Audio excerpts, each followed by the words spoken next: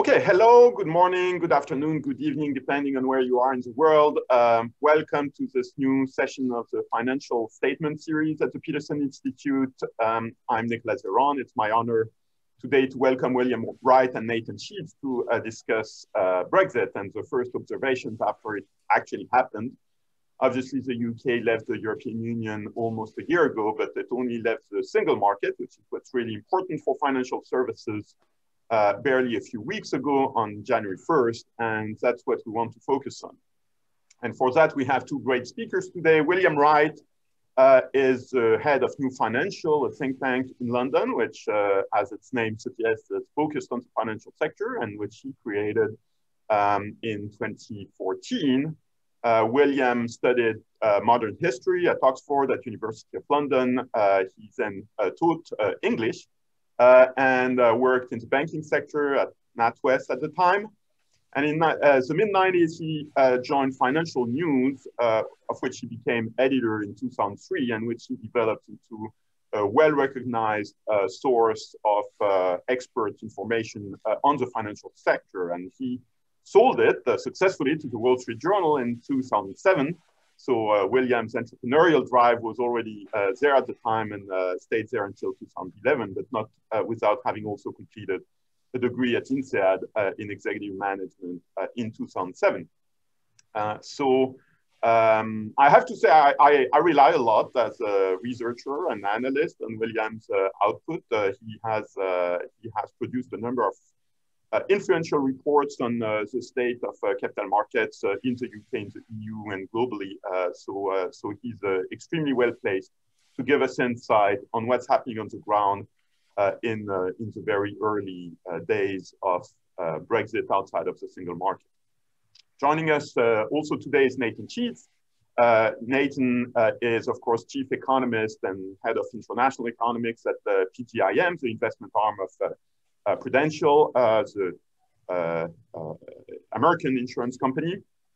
And Nathan studied at Brigham Young University, got his PhD in economics at MIT in 1993, after which he joined the Federal Reserve Board in Washington, where he had a very distinguished career with uh, uh, um, uh, a brief interruption in 2006, 2007, when he was senior advisor at the International Monetary Fund, uh, at the Fed, he was director of the Division of International Finance uh, from 2007 to 2011, uh, and thus one of the uh, three uh, economists joined, uh, sitting on the Federal Open Market Committee. after that, he joined Citigroup, where he was global head of international economics, and then when he came back to the public sector at the U.S. Treasury as Undersecretary for International Finance between 2014 and 2017. So Nathan has extraordinary experience in financial uh, services policy, not just domestically in the US, but also very much in the international setting, which is relevant for our discussion today, particularly in G20 and other international negotiation formats. But the most important thing is that in 2017, uh, after leaving the US uh, Treasury, he was uh, a fellow at the Peterson Institute uh, and therefore um, a colleague before joining um, PGIM later that year. I should mention also that uh, Nathan is very uh, involved in the community, and in particular as the president of the Washington Stake, as it's called, of the uh, Church of uh, Jesus Christ of Latter-day Saints, uh, and uh, and other community involvements, which add to his range of perspectives. So enough from my um, introduction, and over to you, William. Uh, thank you, Nicola, and uh, thank you in particular for that, that generous introduction um, and for the kind invitation to, to join you today to share some headline thoughts on the initial impact uh, of Brexit on the City of London. Um, honoured and delighted to join you today. Good, good morning, good afternoon to everybody uh, on the call. As Nicola said, my name is William Wright. I'm the founder and managing director of New Financial. Uh, we make the case for bigger and better capital markets in Europe uh, and beyond. Uh, and it's fair to say that in the last few years, our work has been hijacked uh, by Brexit. Um, so to set the scene, I'm just going to quickly run through five key areas today, uh, and I will stick to the 10 minutes, I promise, Nicola. Firstly, where are we now? Uh, secondly, how important is equivalence to the City of London? a quick look at the initial impact of Brexit on the city, some adjusted working practices, which is perhaps a little bit of a euphemism, we'll see in a few moments, uh, and then looking ahead, what happens next. So let's start with uh, where are we now? Um, as we've been warning at New Financial for more than a year, the city has ended up with what you might call no deal plus. Nothing substantive in the trade deal itself for financial services, uh, and two temporary uh, equivalence decisions, clearing and settlement, to soften the blow. The pie chart that you can see on the left here shows that of the 39 potential equivalence agreements uh, in financial services, the UK has been granted two. There are a further 25 types of equivalence that have been granted by the EU in financial services to other third countries, but have not been granted to the UK. And there are a further, it being the EU, there are a further 12 types of equivalence that exist in theory, but not in practice, and which haven't been granted to anyone. But you can see that two out of 39 or two out of 27, depending on which way you want to look at it, uh, is a long way from the permanent and comprehensive equivalence that the UK was asking for a year ago.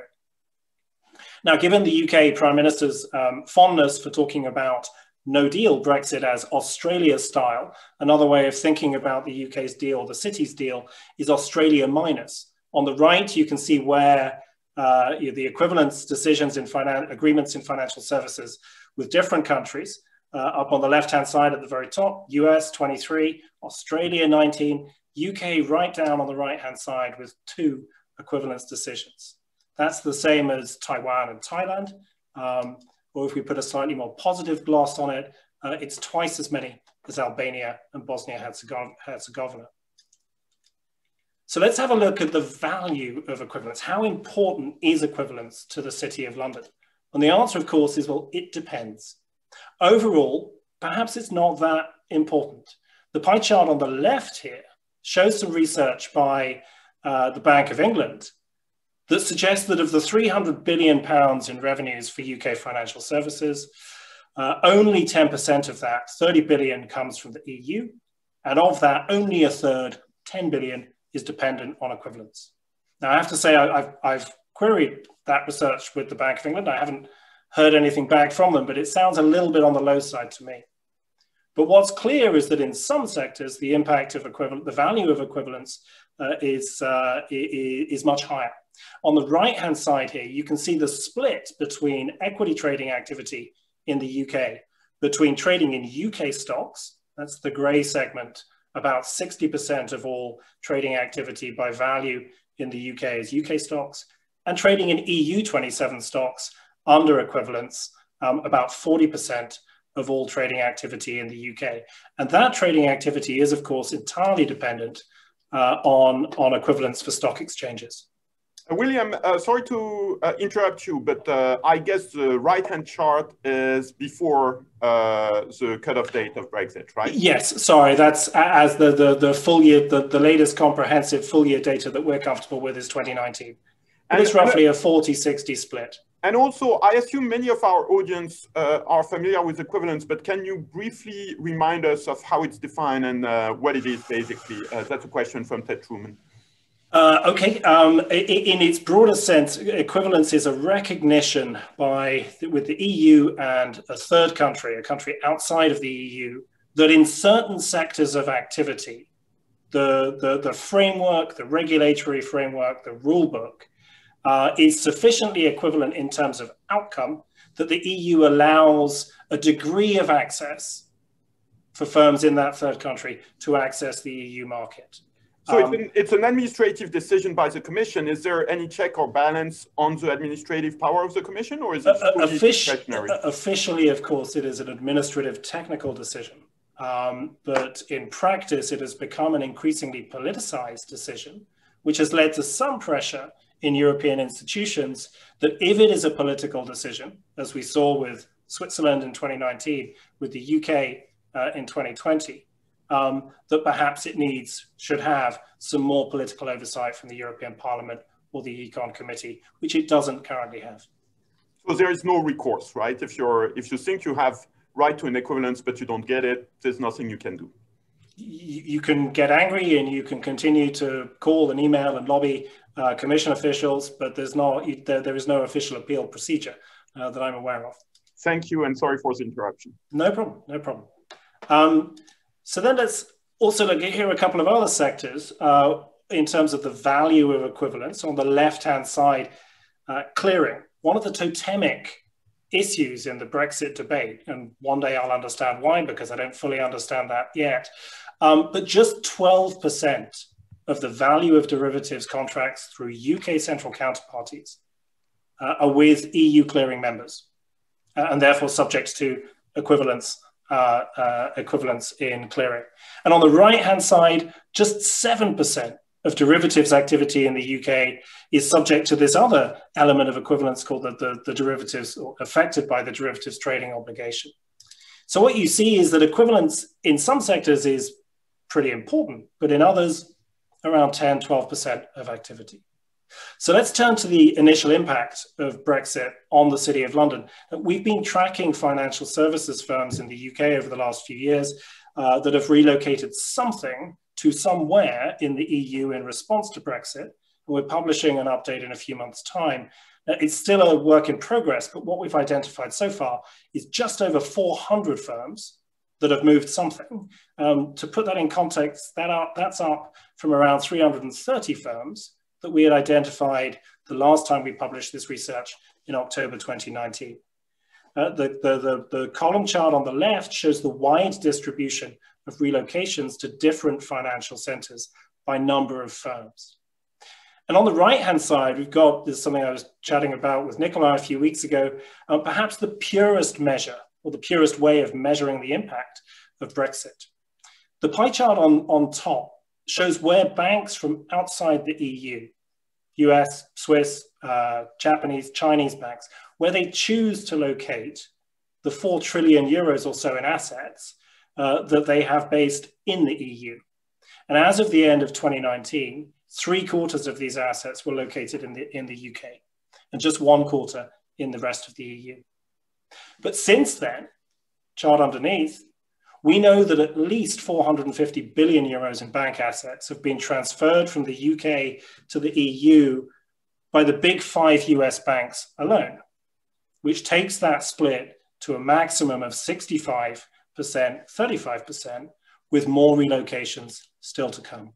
And sorry for another interruption, William, but for clarification, when your uh, chart title says non-EU bank assets in the EU, you mean the EU 28, including the UK, of course. Uh, uh, these, yeah, these, sorry, these, the, the, yes, the, the, the, the snapshot here is end of 2019 when it officially included uh, the UK.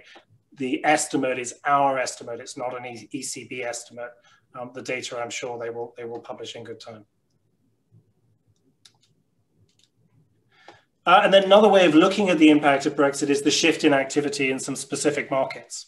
The left-hand side here, we've got trading in EU 27 stocks, again, full year 2019, the last year for which we have fully comparable data.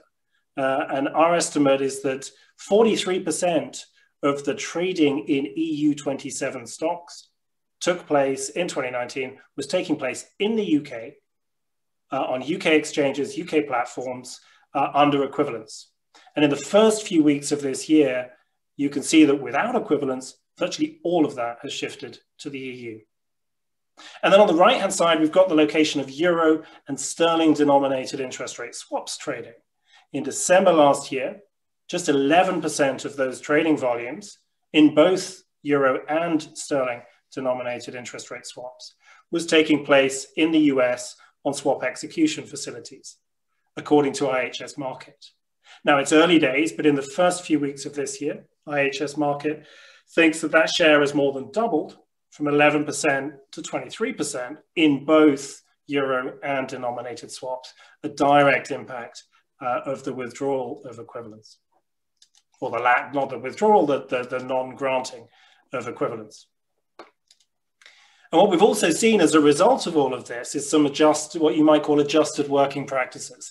Now, for many firms in this in, in, in banking and finance, Brexit effectively happened one or two years ago. They did their contingency planning and they've moved whatever they needed to move.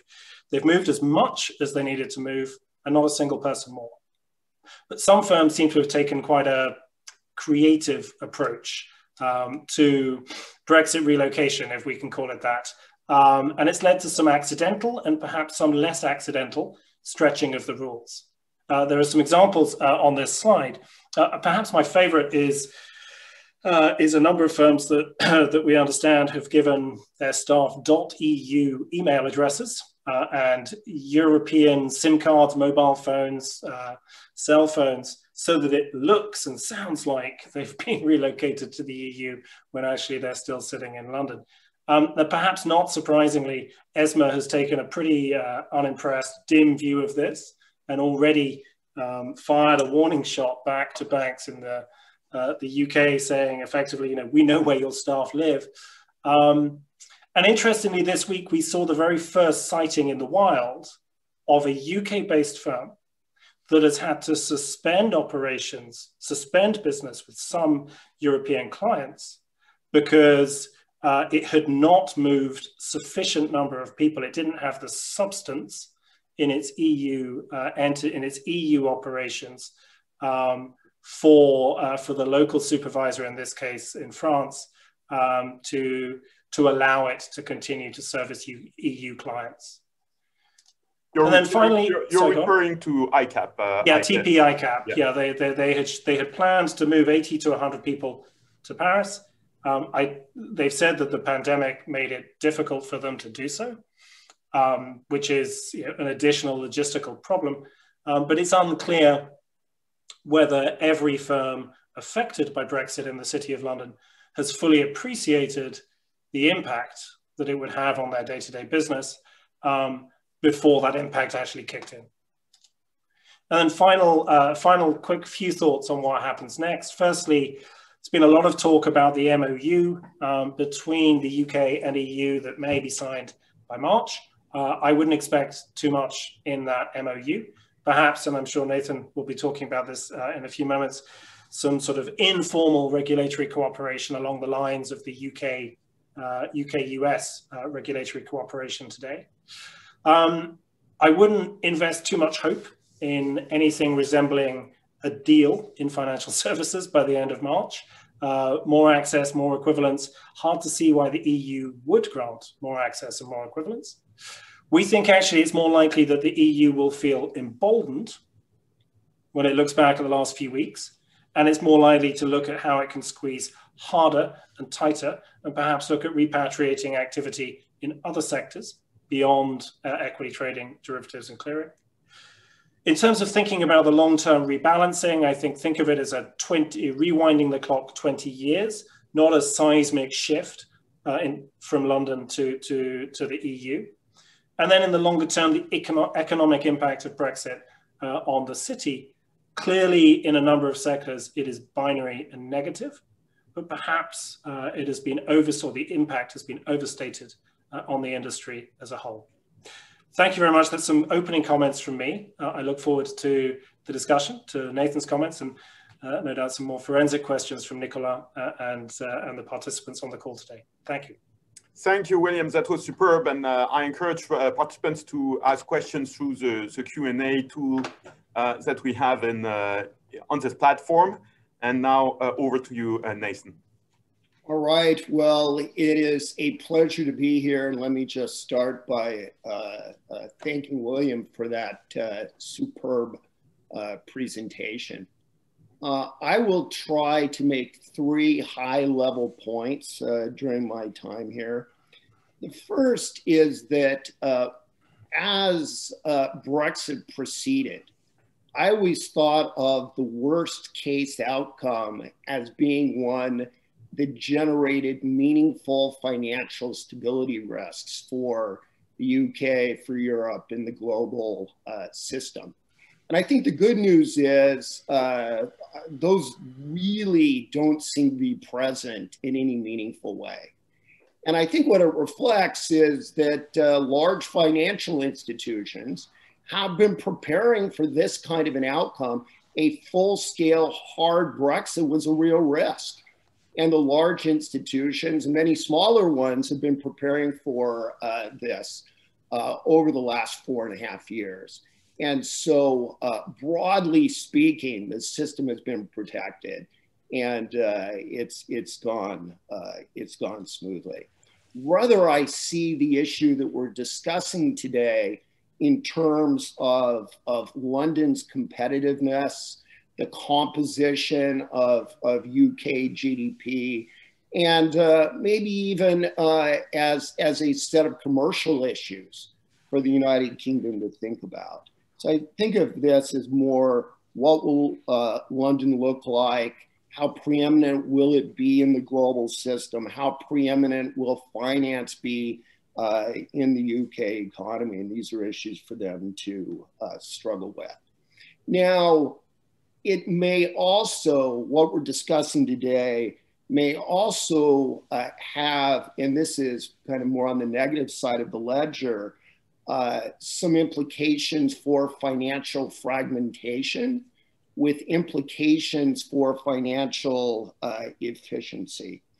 And, uh, you know, when we look at economic activity and, you know, for example, swaps trading or equities trading, to the extent that it gets strewn uh, all over the world and various financial centers uh, don't have the same critical mass uh, and economies of scale that London had before, there could be some uh, efficiency loss there. Now, William's presentation, and I don't mean to put words in his mouth, I'd love to have his views on this issue, but William's presentation seemed to leave me reasonably comfortable that if that's occurring, it's unlikely to be a first order issue. But let me let me pose that as a question uh, rather than rather than make a statement. Uh, I would say one other dimension where we could think of uh, uh, efficiency losses, in addition to the lost scale, is increased transactions costs. And over the last few days, we saw uh, uh, news, for example, the MasterCard was going to start uh, charging a increased surcharge on transaction from the UK into the European Union and uh, that may manifest itself in other ways uh, as well. Second high level observation, uh, despite all of this, I remain relatively sanguine about London's future. I think the London will always be a major uh, financial center. Uh, stepping back even a notch, I think there will always be uh, major uh, financial centers and activities in Europe. And I think part of that reflects the European economy and the size of the banking system, but it critically also reflects the time zone. Bottom line, uh, London, the continent, these are better places to do global business uh, than New York and Singapore because you're able to catch, uh, you're able to catch uh, uh, North America in, in, in the morning and uh, you're able to catch uh, uh, Asia in the afternoon. Maybe I have that turned around, but you get the idea of what I'm trying to say. Uh, so I think that there will be a financial center uh, in Europe. Uh, London will be core. It has first mover advantage. It has the, the advantage of being fully English speaking and deep ties to the United States, which is, is helpful. More broadly, it offers attractive amenities for those in the financial sector. Now, it, I think with COVID and the management of COVID, I'm hearing more grumbling. And it's going to be interesting to see the, the extent to which that's uh, undercut. So I really see this discussion we're having as being that of what is the distribution of employment uh, between London and the continent. Uh, without Brexit, would probably be saying 95% of the financial sector jobs uh, uh, would be international finance would be in London and 5% on the continent, or maybe 90 10. With it, I think the debate is do we land at 70 30 or is it more like 50 50?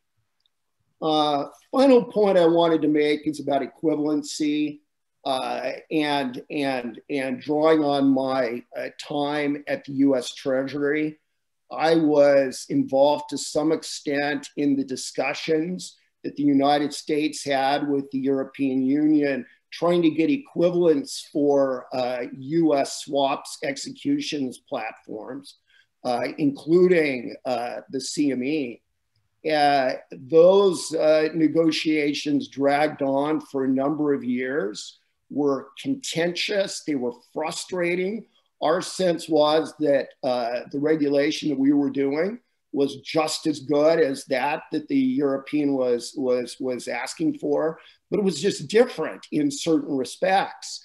And uh, those differences, which we felt weren't really bottom line in terms of the quality of supervision, stood in the way of that equivalence for, for a number of years. So, given my experience, I would be hesitant in expecting the, UK, uh, the EU to come forward quickly uh, with, uh, with findings of, of equivalence, uh, at least in those sectors where it's not immediately in their, their commercial uh, interests. And uh, I will stop there, Nicola.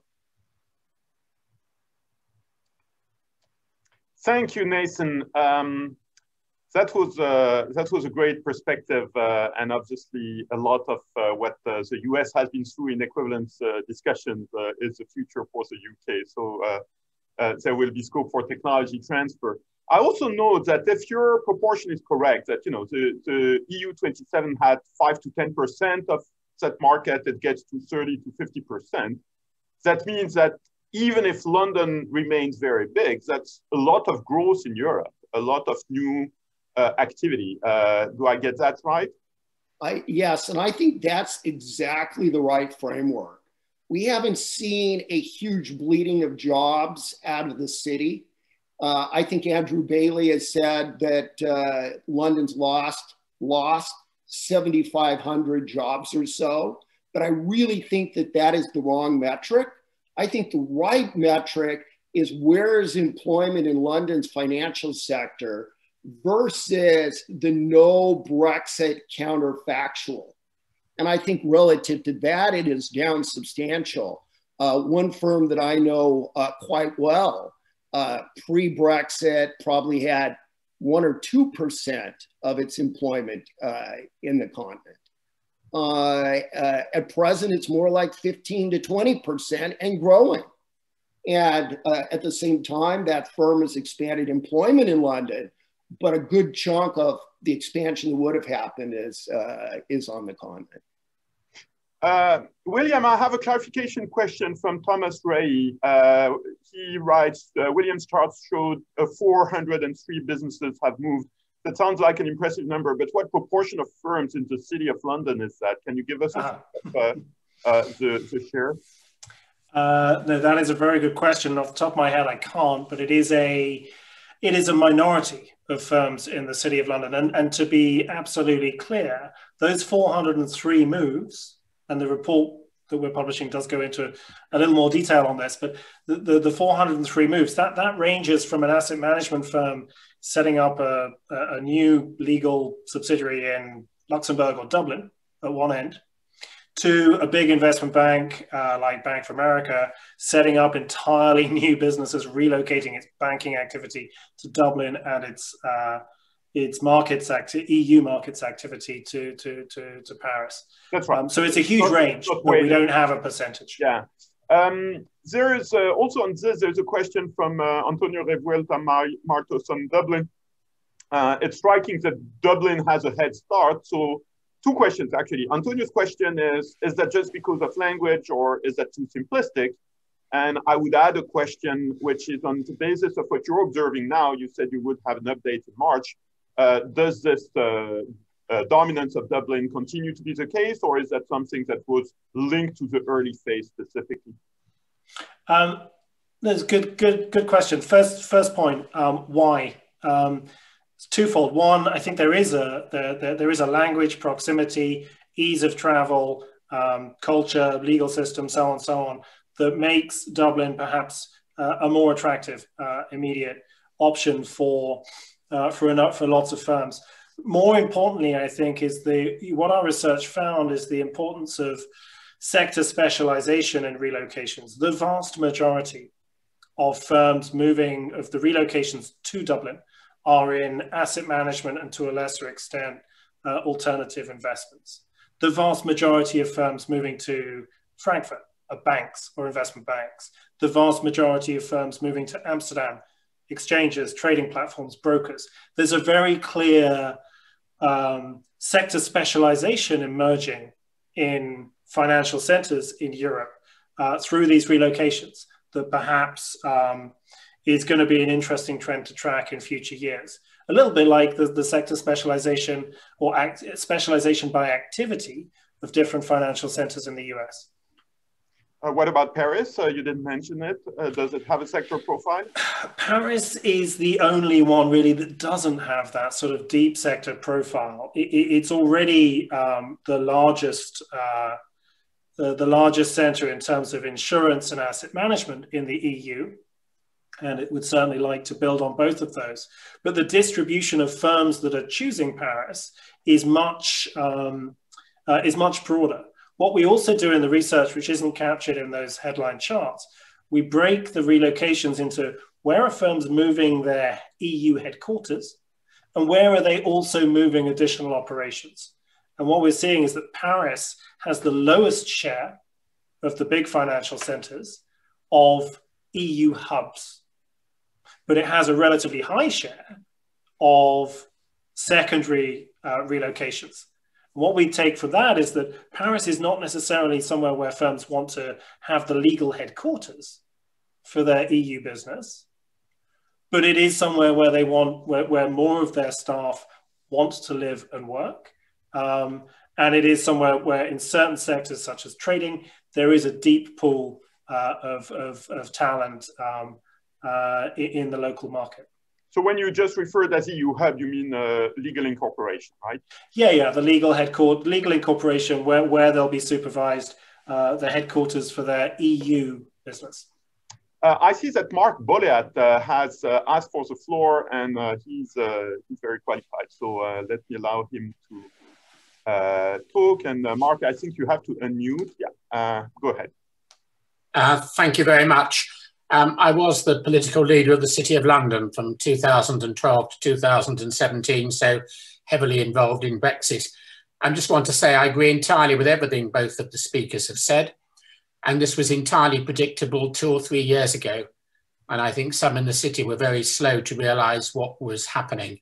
Uh, the big institutions made their mind up soon after the referendum that the business in the EU would have to be done from the EU.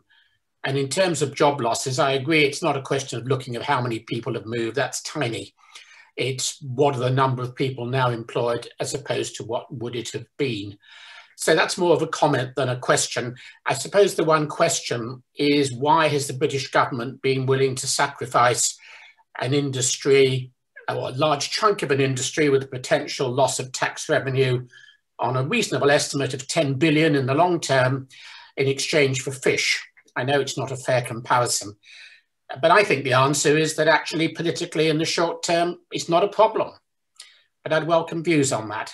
So you've already asked, uh, answered your question, but uh, I'll, I'll, uh, I'll collect other responses from our speakers. But I have a question to you, Mark, uh, because you've been such a privileged um, observers and actually actually participant. Uh, there's been a perception that the city, I mean, you're right that the, the government has kind of thrown the city under the bus, but the city itself was not very vocal uh, in that whole period of negotiation. It wasn't very much into public space. Uh, is that perception unfair? How did you feel about this? And uh, do you think there should have been scope for more, uh, you know, assertive um, uh, stance of the financial industry as a whole and its representatives in the UK? I thought I was pretty vocal, um, but it was difficult for many city institutions as you know, the biggest institutions are not British, and they didn't want to get involved in a British political debate. And also, you know, the JP Morgans, Morgan Stanley, Citibank, they're not particularly concerned about the financial services industry in Britain. They're concerned about their business. And for them, having to move a number of staff and functions is a costly irritant, but no more than that. The financial services industry has survived Brexit very well. The damage is not to the industry at all. It is predominantly to Britain. And also, and the point's been made, the financial markets are now marginally less efficient, but that's all. So I don't think the city could have done much more. The British government took an early view that it was not going to get the sort of deal it would ideally like on financial services because the price the EU would extract for this was going to be too great. That's very powerful. Thank you so much, Mark. And I see that Angus Canvin uh, also uh, has uh, a hand raised. So let me give him the floor and you can unmute yourself, Angus. Yeah, look, just uh, in in response to your your comment, uh, uh, Nicolas. Um, I mean, I agree with with with with, with uh, Mark. Yourself, Angus. Sorry. Maybe introduce yourself. No. Oh yeah, sorry. Um, yeah, Angus Canvin, Director of International uh, Affairs at UK uh, Finance, which is the trade association representing the banking and payments industry. you know, those firms doing that sort of business in and from the UK. So all those uh, institutions Mark just mentioned uh, are our members. Um, so I'm just going to uh, agree with what uh, Mark said, but to, to point out that uh, on both sides, um, there was no uh, willing audience for what the city had to say. And that became apparent pretty quickly after the 2016 referendum. I mean, certainly on the EU side, for obvious reasons, uh, the city's interests were not did not factor into the uh, strategy for the negotiations of the future relationship with the UK. On the UK side, uh, you know, as Mark said, um, there was a political decision taken, uh, as you put it, to throw the city under the under the bus. The city was initially very vocal, um, very clear uh, on what it thought ought, ought, to, ought to be done. Um, but we uh, very quickly realized representative bodies in the city uh, that uh, you know, we were wasting our time, in, in effect. Uh, and worse than that, as far as the UK government uh, was concerned, and that became especially true uh, with the, with the arrival of the Johnson government, that we were seeing, yeah, our comments were counterproductive in the, in the sense that uh, they cost us uh, cost us in, in terms of influence and relevance to the UK authorities. So you mean if you said, having, having no effect? If you said white, the Johnson government would instinctively say black, and uh, vice versa, right? Yeah, we were just not a, uh, a political priority, not a consideration in in their their strategy for the for the future relationship with the EU. So uh, both both parties we were effectively irrelevant to. Uh, thanks very much. Uh, I, I, apologize to uh, the two speakers because I've taken time uh, for what I took more as testimonies than questions.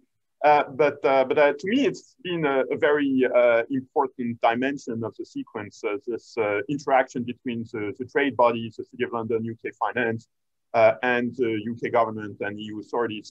Nathan and William, any comments on that? Uh, two two thoughts. First of all, I think it's both Mark and Angus uh, emphasized. Uh, given political realities everywhere, it is a very challenging thing for politicians to throw their arms around bankers. Uh, and it doesn't surprise me from a, a realpolitik political strategy perspective that uh, uh, protecting finance was not high on the UK government's list. Now, my second comment is a little bit in, in tension with that. And that is, I think perhaps another factor that could have worked in is I wonder at how willing the European Union was to really make uh, compromises uh, in this space. Uh, uh, from, from the day after Brexit, uh, the European Union and European officials were mobilizing efforts to gain commercial advantage and to strengthen uh, the continent's position in finance as a result of Brexit. Uh, it was most pronounced probably uh, from the French, but more broadly. So I wonder how much receptivity, even if it had been a key priority uh, for uh, the, the UK government, how much receptivity there would have been uh, in Brussels to it. William? Uh, you're on mute.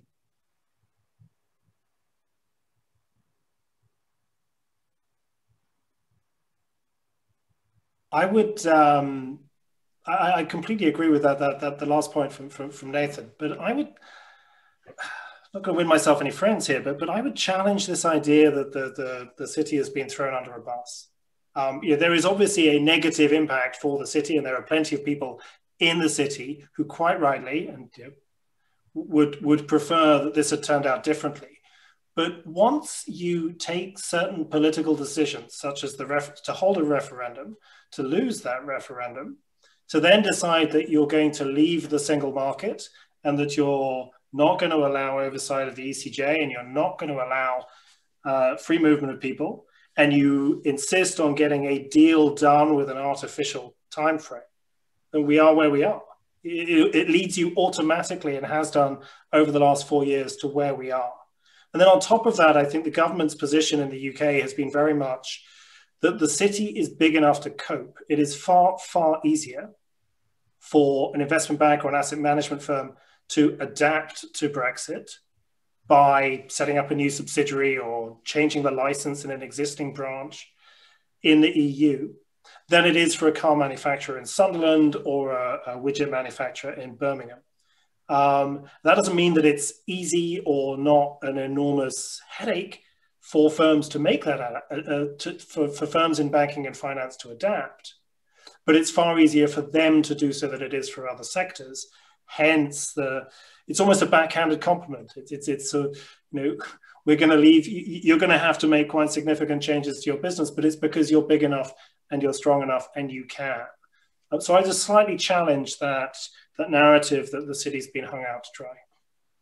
Um, we have plenty of questions in the Q&A and they're all great questions. And uh, unfortunately, there's not going to be enough time to answer them all, but I'll do my best and ask you to be uh, as crisp as possible. Uh, of course, substantial, but crisp in your responses. So we have a question from uh, Stuart Wood. Sorry, uh, let me get the question. Uh, Reuters is this morning reporting that the EU has decided to give full equivalence-based market access to US clearinghouses with no time limit.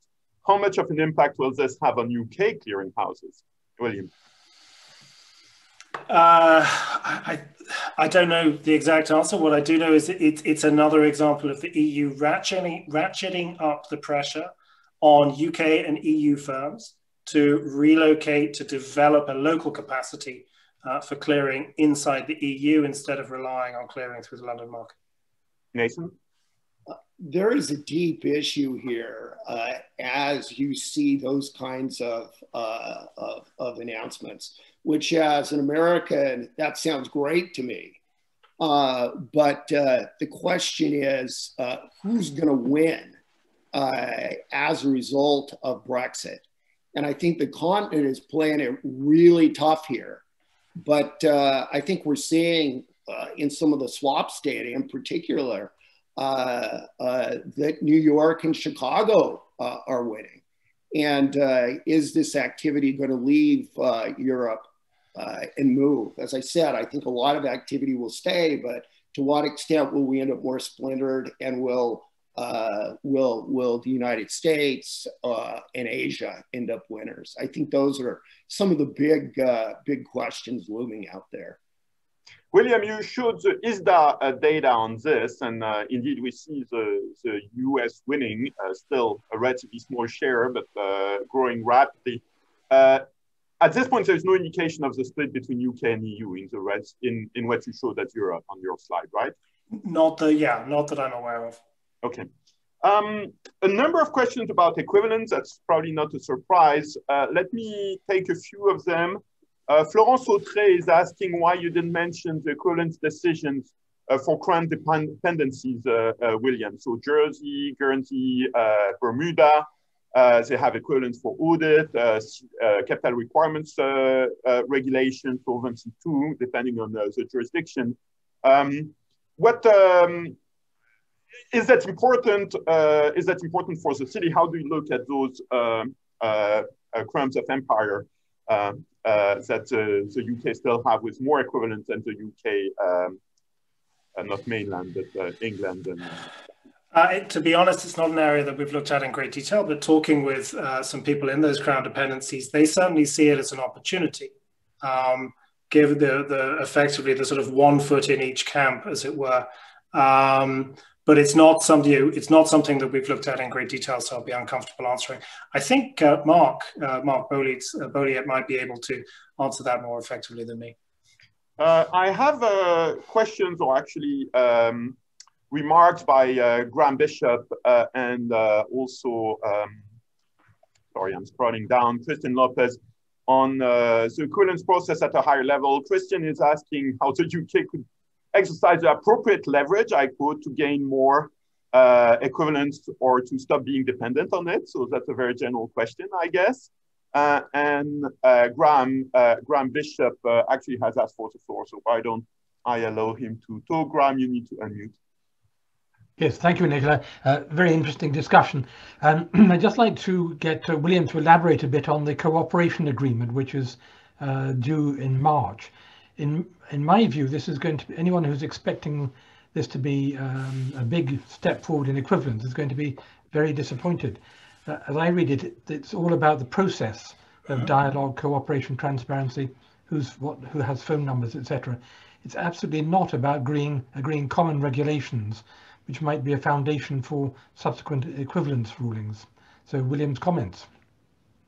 Uh, Graham, I completely agree. Um, my my comments earlier about lowering expectations on that are, are more a response to some of the uh, some of the more excitable um, uh, analysis and commentary in some corners of the press in the UK that have been talking up uh, the next few months as right. We're finally going to get a proper deal here.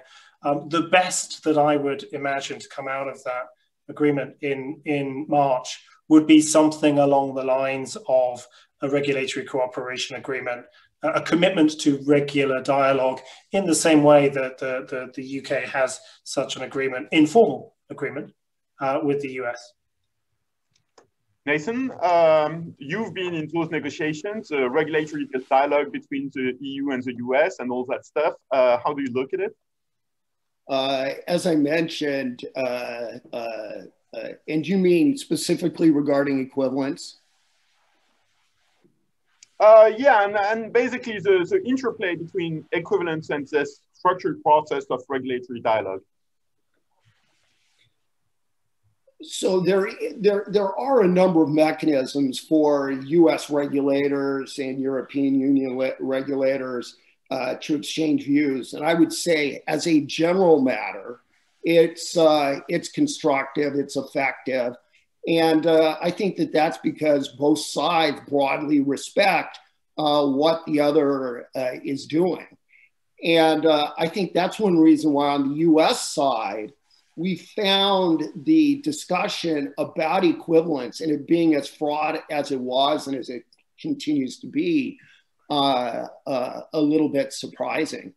And uh, it happened after I left Treasury, but my understanding is that ultimately the swaps execution facilities equivalence uh, was granted when uh, certain folks at the CME started advocating threats uh, as to access for EU uh, uh, EU customers. So it actually got to kind of a tit for tat sort of thing.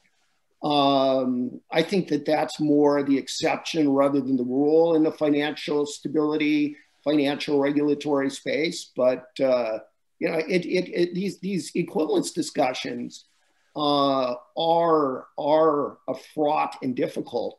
And I think you're hearing Andrew Bailey already flag this for folks, saying that what the EU is asking for is is problematic and it's going to be hard. And uh, uh, we can't pre-commit to always make the EU happy. And if that's what it requires to get uh, equivalence, that may be a, a bar too high. Uh, William, I was struck by this testimony of Andrew Bailey, I think at the House of Lords uh, earlier this month, where he said, you know, uh, really, we want our own strategic autonomy. He didn't use those terms, but that's, he said, we, we want to be able to set the rules. And if we cannot do that for equivalence and by, by equivalence. Um, that was pretty blunt. Uh, how much of that, in your view, is a specific Bank of England view because they have a, of course, they put a premium on being able to set the rules versus the general position of the UK government? Um, I, I, think it's a, it's a little bit like um, the, the the old joke that if you know, if you've hurt your knee, the worst person to go to is a to ask about how to heal it is a knee surgeon because what he'll do is say that you need surgery. Um, if you want to ask, you know, what should the future framework be for UK regulation? Um, don't ask a regulator, don't ask a supervisor because of, and I'm being slightly flippant here, but obviously they want to have control over supervision and regulation and, and with equivalence, they would lose a huge amount uh, of input into that. Um, but I think though that there is a growing um, recognition, and I, I, think you know, given the decisions that have been taken and that have steered us to where we are over the past four years, I think rightly so. Now there is a growing a growing sort of recognition that equivalence only solves a few small areas of the Brexit puzzle. Um, most firms have had to take the, the, the hit from Brexit on the chin to relocate. Having done so, they've now got that access to EU markets and to EU clients in the back. So if we push for more equivalence, are we, are we expecting firms to sort of unwind the, the relocation and the contingency plans that they've done? Or, or is there actually now an opportunity to say, okay, we are where we are, what can we do about it? How can we develop focus on London as a as a as a non-EU financial centre? Uh, how much business can still be uh, how much EU business can still be done through London? And the answer is quite a lot. It's not all dependent on equivalence. So we have a number of comments on this in the Q&A, including for Per Vissen, for example, who says more things than Brexit affect uh, geographical uh, distribution, AI, big data, Zoom meetings, and more they, may, they all may decrease uh, the importance of global centers. Uh, of course, that raises the question of regulation because what remains territorial is regulation and supervision. So, so how do you think about this interplay between technology, even you know the pandemic lockdown, mm-hmm. meaning territory is less relevant, uh, and the lingering uh, importance of territorial uh, rule setting and, uh, and legislation? I guess uh, I'm old school on this, and my feeling is that uh, uh, the agglomeration uh, externalities of having a lot of talent in a uh, uh, geographical proximity is is powerful. I think it generates more ideas. It creates thick labor markets and uh, with uh, you know whether whether you're thinking about coders for AI uh, or, or more traditional financial uh, sector activities, I think we'll continue to have meaningful financial uh, sectors.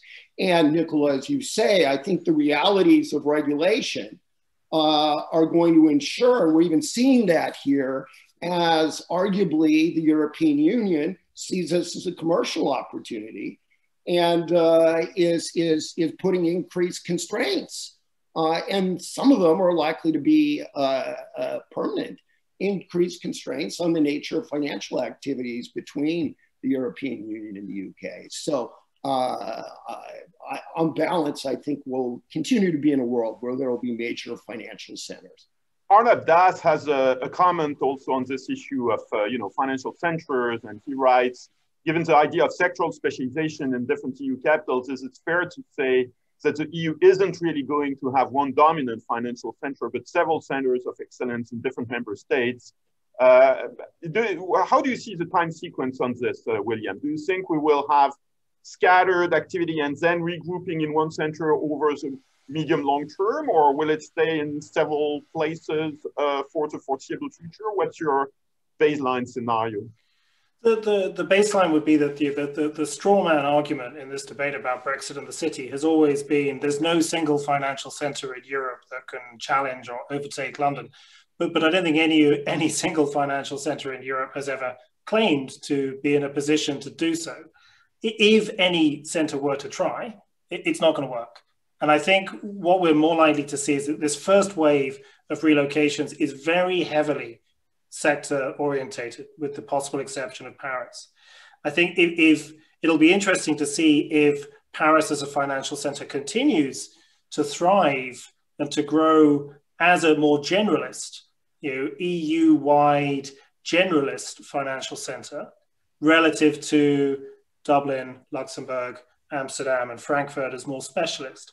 But I can imagine a longer term, uh, I can imagine multiple financial centers in Europe thriving in a competitive environment on a sector specialization basis. What I can't imagine is any more than one or two of those financial centers trying to set themselves up and flourish as a generalist alternative to London. Uh, Nathan? Let me just briefly add uh, I think that uh, those arguments are compelling. I'd say a caveat is for that multiple centers of excellence model to really take hold and i think that is one that's that's logical and one that's possible. I think you're going to need capital markets union to continue to make progress. Yeah there, there, there's a lot of questions about that and uh, and William and I have had many discussions. Uh, I'm uh, I'm slightly uh, cynical on the slogan of Capital Markets Union, but uh, but there's, there's a, an additional uh, question or reflection from my colleague Caroline Caroline Atkinson, uh, COVID has forced financial firms, of course, to manage remotely. And uh, the, how much does that change the calculus around centers with geographic concentration? I mean, you've alluded to this, but can you can can you give us a little bit more of how you think about that? So I'll uh, I'll kick off this one. Uh, so where we are now, I kind of think of it as as two poles. Where we were uh, before uh, the pandemic was essentially all physical interaction. Now we had video conferences and the like, but let's just say there. Where we were kind of in March, April, May was all virtual interaction. And I think where we're going to land in the new normal in the new equilibrium is somewhere in between.